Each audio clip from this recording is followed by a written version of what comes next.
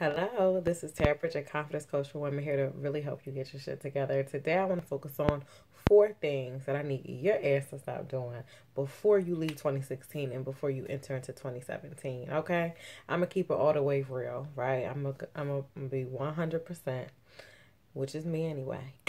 so I might cuss a little bit, but that's because I love you, and that's because I want to get the point across to you that's just some shit that you need to stop doing. If you want to get your shit together, right? If there's some areas in your life that you need to get together, this is going to be the video for you. Okay, this video ain't for everybody now. Okay, it's for certain people. I had to even write it down so I can make sure, you know, I'm giving it to you. So, first and foremost thing that you need to stop doing before you step into 2017 is that you have to absolutely stop putting self care off. Stop putting that shit last on your list. Okay? You need to pencil that shit into your calendar.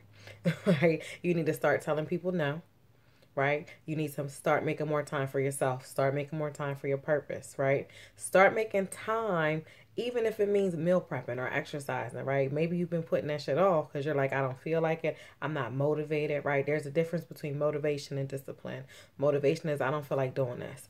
Discipline is like, I'm still going to get my behind up and I'm going to exercise or I'm going to meal plan or I'm going to still work on my business or my purpose or I'm still going to, you know, do X, Y, and Z, right? There is a difference between the two, right? Before you come into 2017, you need to start looking into doing some discipline so that you can be more consistent when it comes to self care. And if I'm talking to you, you know exactly what I'm trying to say. Which brings me up to number two thing that you need to stop doing. You need to stop feeding your damn emotions. And I mean literally, and I mean figuratively stop when you are feeling negative and down or depressed, right? Or resisting things that are going on instead of you actually facing something so you can fix it or dealing with something so you can heal it.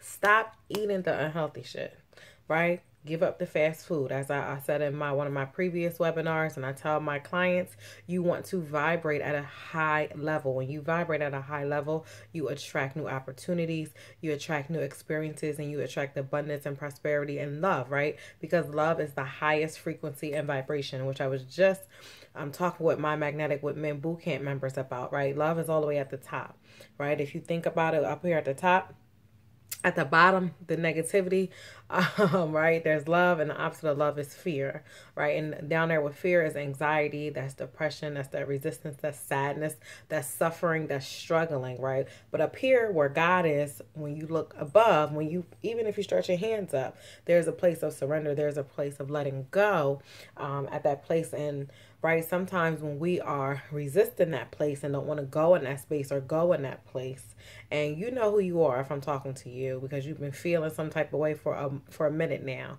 and oftentimes we resort to negative behaviors. One of the most prominent ones um, that women resort to is eating unhealthy. I know because I did it, and my ass be steady gaining weight, right? Until I broke that pattern, right? And that's what I want you to do. I want you to break that pattern. Stop feeding your emotions in a negative way. The third one is for you to stop shrinking. Stop playing small. Stop downplaying your gifts, your talents, your strengths, your worthiness, and all that. Stop it. Cut that shit out. We're not taking that into 2017. And last but not least, number four, stop fucking lying to yourself constantly lying to yourself that, oh, I love him or he loves me, right? Stop lying to yourself about, you know, your weight and your body. Girl, it's a lie. Stop lying to yourself saying, oh, I can't afford this or afford that. You afford what you want to afford. Let's, let's be clear about that, right? So stop lying to yourself. I'm unworthy. I don't deserve. I'm lacking. Stop fucking lying to yourself, okay? You are worthy of beautiful and amazing. If you want to step your game up, please make sure you join my Born Fierce Bootcamp unleashyourfierce.com slash camp. We start December 12th.